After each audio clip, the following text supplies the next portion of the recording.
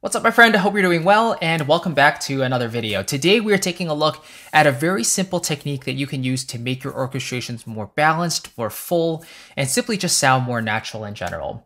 I think a lot of us struggle with uh, creating voicings that just sound full and rich from the very beginning, and then we start to blame things like mixing and arranging when the real problem comes down to just understanding the harmonic series and seeing how the voices work together, which voices are the most important, which ones can be doubled, so on and so forth. And I've done content on this in the past, but I just wanted to kind of reaffirm uh, some of these concepts that I think about and that you should also keep in mind when you're voicing your chords. Really good practice material uh, just to play around with your sample libraries that achieve this.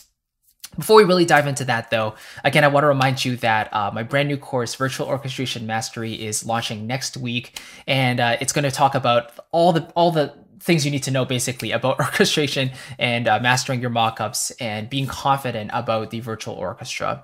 Um, it talks about things like voicings, it talks about orchestration in general, it talks about sample library techniques, how to get the best out of your instruments, how to orchestrate in different styles. I'm also going to orchestrate a piece from start to finish right in front of you and then mix and master it and then release it to the world. It's a whole program that I'm, I'm, I'm so excited to share with you. And if you want access to it, if you want uh, to be notified as soon as it goes live, uh, definitely sign up using the link below and uh, I'll email you as soon as it goes live. Um, I'll also send you a couple free bonuses as well while you wait, so you're not just left empty-handed. Um, but yeah, I, I really hope to, to, see you there. And uh, yeah, without further ado, let's kind of jump into this technique. So the main thing to consider is that when in any typical triad, right, like a major and minor triad, the most important note that you could have is the third of the chord. Now, of course, yes, the root really matters because that literally establishes the tonic note. So the root, the foundation of the chord. And the fifth is also important because that shows us that we are creating some sort of chord, right? It could be a suspended chord, it could be uh, something like that, but having the root and the fifth establishes the inside and the outside, or the bottom and the top of that chord. But what actually fills in that gap and tells us whether it's a major or minor chord? That comes down to the third, right? So if I play a chord here, a very simple triad, this is a C major chord, whereas if I add the E flat, then it becomes a C minor chord. It sounds a lot sadder and a lot darker, right?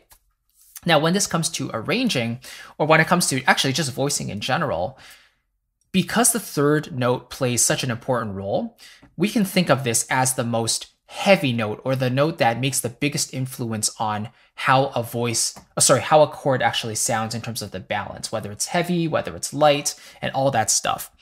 The, the technical reason for this is just due to the harmonic series, the way certain overtones overlap on top of the fundamental note. So as you go up higher and higher, the the voices start to get closer together so you can have notes that are really close together and not sound muddy at the very top whereas if you play at the very bottom it sounds super muddy because those overtones are all overlapping on top of each other so considering that the third of the chord is the most important uh, note to influence whether a chord sounds heavy or light, let's put actually put this into practice. So I'll use a piano first, and then I'll put this into the strings as well so you can see how this sounds. But Let's, for example, let's play a C major chord with the third, in this case the E, being super high up. So let's have a quick listen. I'll just play some roots, I'll play some fifths, and then we have the third there, the E natural at the very top, right? So one more time. And it has a very bright, it has a very open sound. And if I asked you to put a certain emotion to this chord, you might say it sounds bright, it sounds happy, it sounds um, you know, uh, fun, right? Now, if I take this E, let's bring it an octave lower. Let's play this E instead. So. Now I would still say it sounds happy and fun, but it also sounds a little richer in a way. And that is due again to the third being an octave lower. So now the heaviness of the chord starts to settle in a little bit more. Let's take this a step further. Let's actually put the E now down an octave around the middle C register. So now we just have. Now this chord starts to sound a little bit more regal, a little more full and rich, and having all of these notes here in the middle, the G, C, and E, the second inversion triad right here, this third really gives us that heavier sound and heavier quality of this C major chord. And finally, let's put it down here, right in the middle. And now you can hear now it sounds very, very settled, very fundamental. And now the E is basically a few octaves lower than where we started. Let's actually take this to the extreme. Let's put the E down an octave as well. So Now this I would say is undesirable. This is a bit too heavy, and that's because the E is so close to that C in the bottom, right? And you can hear how they kind of clash a little bit. So those overtones are all furiously overlapping on top of one another. So usually the lower you go, the wider apart you want those intervals to be. A general rule of thumb is to start with octaves at the bottom, and then you can incorporate the fifth because it's a lighter note, and then incorporate the third as you go a little bit higher. So I would say as long as you have a chord where the third is around the middle C area, you're pretty much good to go to have a chord that's not going to be overwhelming because any lower than middle C, you start to get a little bit heavier, a little bit warmer, and you might like this effect, but I think if you go below the C3 and put the third in there, it starts to sound a little bit too full, too heavy, right? So let's do a D major chord, same exact thing. This F sharp right there, just, just it overemphasizes the quality of the chord a bit. Whereas if we move it up an octave, suddenly it's a lot fuller and cleaner, right? And we're following the harmonic series. We're going a fifth here, we have a fourth here, and now we have a third here. So the intervals are getting smaller and smaller, which is really nice as a byproduct. Let's hear this in the strings as well. You're going to hear the exact same thing. So here is a C major chord with a third solidly in the middle of the chord rather than at the very bottom. So you hear the third in there. If I remove it, it sounds a lot more empty, right? It's an open fifth. Let's add the minor sound with the E flat. Very nice, right? Nice and dark and full. Let's bring the E flat up an octave. Okay, now it's a little lighter, just a little bit lighter, because the note is higher, but also it's the third of the chord, right? Let's actually bring this up an octave higher. So not as full anymore, right? We still hear a minor sound, but that E flat is is making the chord feel a bit lighter and not as intense and dark, right? So the the main point I want to get across here is to take advantage of the third and understand where you are putting your third and where you're voicing it in the chord. The higher up the third is, the less the audience will feel that quality of the chord. So they will still hear if it's major or minor, augmented, whatever it may be, but it's not going to be as strong as if you put the third closer to the middle or around the C3 area. Again, any lower than that though, it starts to get overly muddy, so you want to avoid that area as well. So again, it depends on the effect you're going for, but a really safe space to be is around the middle C area, where you have the third there, right? If the, if the rest of the chord is around this area as well, then it kind of works itself out. Let's say if I, if I have a really high chord, then naturally I can have the third really high up there as well.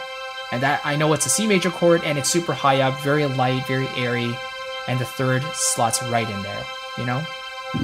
But in the context of a big, big full chord that's that spans many octaves, that's when you really have to think about where you want your third to go. So in traditional uh, doubling rules, um, where if let's say you have more than three voices, you have four voices, which note can we repeat or double, right? So if it's a traditional C major chord, for example, it is the most um, effective, let's say, to double the root without making the chord feel heavy and overwhelmed. Then next in line would be doubling the fifth. So instead of doubling the C on top, we double the G. So you hear there's a little bit more color there compared to doubling the tonic or the root note, right? Doubling the root is very, very common because again, due to the harmonic series, the fundamental note can double in octaves many, many times. So when you double the root, it's not very colorful. Double the fifth, there's a little bit more color, but when doubling the third,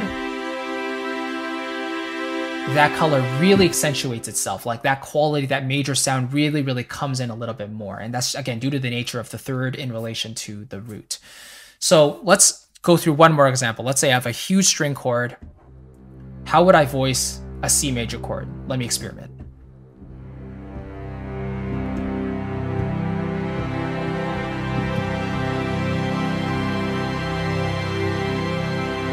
All right, let's take a quick look at how many voices we have. We have 1, 2, 3, 4, 5, 6, 7, 8, 9 voices.